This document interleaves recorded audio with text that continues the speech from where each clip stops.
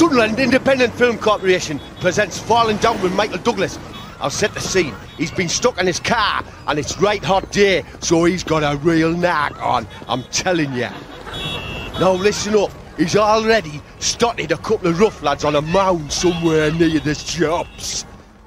But oh no, he's going over to the local shop and the bloke in there is a well-known bloke for overcharging. Well, what is going to happen when Mr. Michael Douglas goes in this shop? Whew, it's hot. What do you got to drink in here? A looking drink cabinets. Yeah, we'll take a little. No, tango. That'll be one pound. One pound for tango? I've only got 50p, okay? I'll take, uh, Panda Pop. Panda pop, 70 pence. 70 I can get four for a pound in Londis. Oh, yeah. What go London then? I'm not bothered. Okay, that's your attitude. Ha! I'm not worried about that. It'll come back in shape. Yeah, well, it's a hot day out there. How about this? Not my topic. Yeah. I'll never get shape back.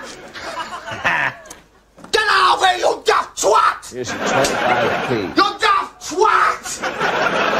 the topic is right. Good luck, Mr. Michael Douglas.